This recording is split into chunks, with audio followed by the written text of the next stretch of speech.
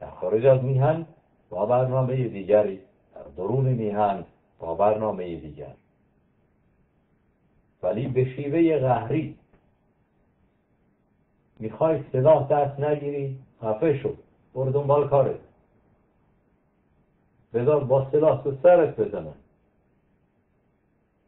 بذار با سلاح ناموس و زندگی و مال ملت ایران رو و همچنین خودت رو ببرن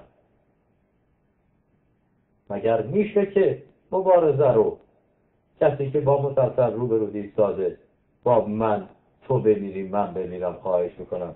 جون مادر یه در دموکراسی بردر رو رها کن. نه اشتباه می‌کنی. دروغ میگی. می‌خوای برات بیگانه مبارزه کنیم زیرا که دلش رو نداری جگرش رو نداری. میگی بیگانه بیاد حالا ببره یه خورده. بهتر از اینا. هست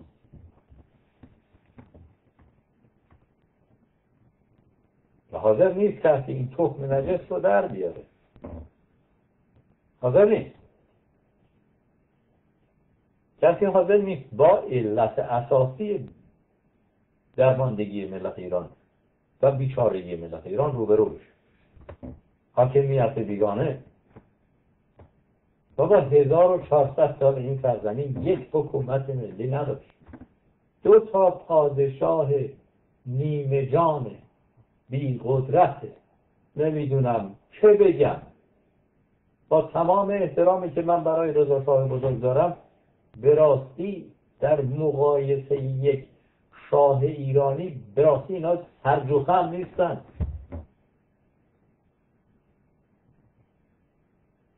مگر پادشاه ایران می نشینه که سوار گاریش کنن از ایران ببرنش بیرون؟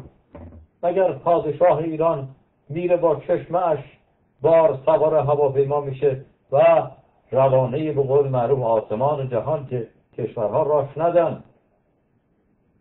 خاک بر سر ما ملت که دلاوریمون و سربلندیمون رو به اینجا کشوندیم با ترس و بزدلی. مبارزه مسالمت آمیز نمی‌دونم چی؟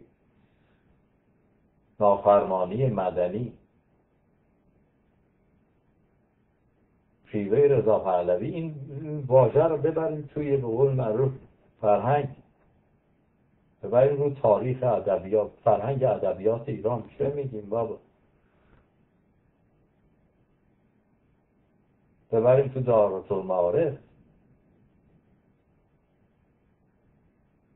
شیوه نمی‌دونم همزیستی مسالمت آمیز رفراندوم.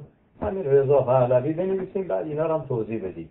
یعنی رفراندوم یعنی بیعرضگی یعنی نمی‌دونم منتظر بیگانه شدن یعنی دولت ملت ایران رو به بیگانه فروختن همه اینا رو بذاریم رضا پهلوی.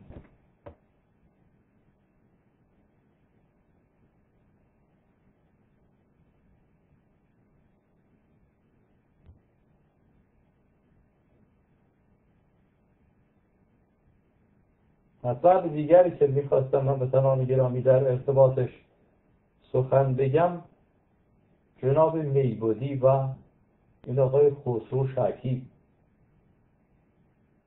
که ته دادن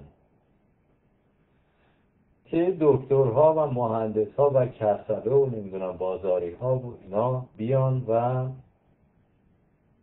نماینده بدن و ما بیایم یک حکومت در غربت تشکیل بدیم. و ما با خارجی ها روبرو بشیم به جای جمهوری اسلامی. راستی که شماها مزهکید مزهک شما دلغکید. اگر دلغک نبودید به جای مبارزه کردن به جای متحد شدن به جای اینکه ملت ایران رو به قول معروف با مشکلات سیاسیش با مشکلات اقتصادیش با مشکلات جهانی آگاه بکنید آشنا بکنید. می نشینید برای خودتون. مزح البته اینا برنامه بیگانه هستن به تنها من به شما بگم.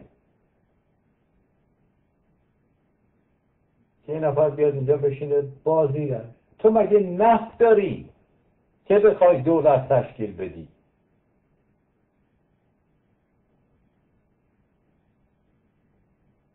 مگه طلا داری؟ مگه قالی داری؟ مگه پسته داری که می‌خوای دولت تشکیل بدی؟ چرا می‌خوای بفروشی وعده بدی ایران رو.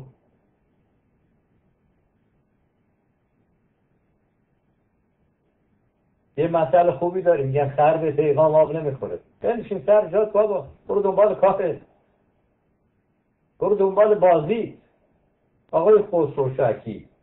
آقای میبودی دست از سر ملت ایران بردارید شما رو من به قول معروف تمام انسان ها ارزش های انسانی سوگن میدم من شما رو به این تاریخ سوگن میدم. به خون ملت ایران که در 1400 سال گذشته بی وقفه هر روز به زمین میریزه سوگن میدم.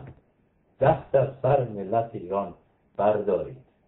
مرغی که انجیر می‌خوره دوکش کج شما نیستید آقای پارسا برید کنار از سر راه ملت ایران. من سخن من با پارسا سربی نیست. پارسایی که نشسته توی تلویزیون پارس. اسم پارسا روی خودش گذاشت. دست بردارید. من دو بار شما به قول معروف فشار خون من رو به کهکشان کشوندید. با شیوه بی خردانه ای که سخن میگید بذارید ملت ایران راه خودش رو پیدا کن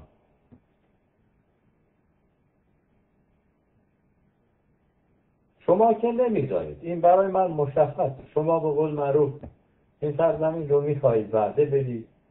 می‌خواهید خودتون به جای برسید به قدرتی برسید. اهل کار و کاسبی هم که نیستید. مثل من به قول معروف برده گلادیاتور که روزانه یازده ساعت باید کار کنم و بعدم بیام بنشینم جیگر خودم رو جلوی این میکروفونی که من نیست. چند نفر می‌بینه در بیارم و نتیجه هم نرسم. شما به نتیجه می‌رسید. هر روز که اون پیچ تلویزیون رو مردم برای به قول معروف تفریح باز می‌کنن و شما دلغک ها رو می‌بینن شما به نتیجه خودتون رسیدید.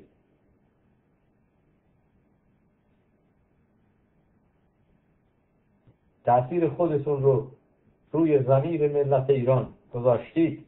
زمیر آگاه و ناآگاه ملت ایران. که تا ابر قدرت ها نخوان هیچ چیزی اتفاق نمیفته مگر آلمان ابر قدرت جهان؟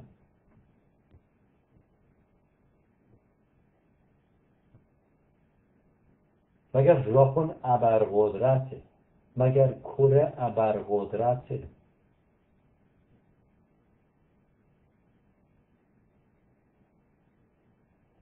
مگه کشورهایی که دستشون رو روی زانوی خودشون گذاشتن ابرقدرتن. مگه ابرقدرت ها می‌خوان که آلمانیا جهان رو به لحاظ اقتصادی از پا در بیارن؟ نه.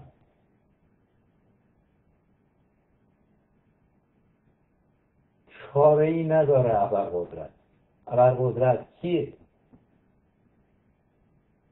چاره ای نداره جز پذیرفتن واقعیت. و واقعیت ملت ایران چیزی جز طرفکندگی و تسلیم طلبی راستی نیست. چیز دیگری نیست. هموطنان گرامی.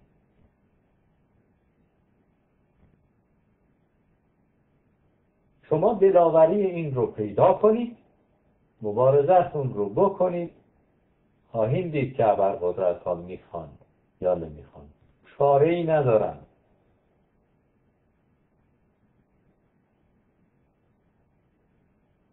شما ارتش سرنگونی جمهوری اسلامی رو تشکیل بدید. شما پای مانیفست انجمن پادشاهی ایران رو امضا کنید. شما رهبری انجمن پادشاهی ایران رو بپذیرید. شما من رو پشتیبانی کنید. و خواهید دید که ابرقدرت ها چاره ای ندارند. هموطنان گرامی که بپذیرن همون گونه که آلمان رو پذیرفتن. همان گونه که ژاپن رو پذیرفتن. کره رو پذیرفتن. تازه دارن کره شمالی رو هم میپذیرن. تازه دارن این کمونیست هم که میپذیرن که میرن میشینن. نمی‌دونم بچه مدرسه یا عکس میندازن که.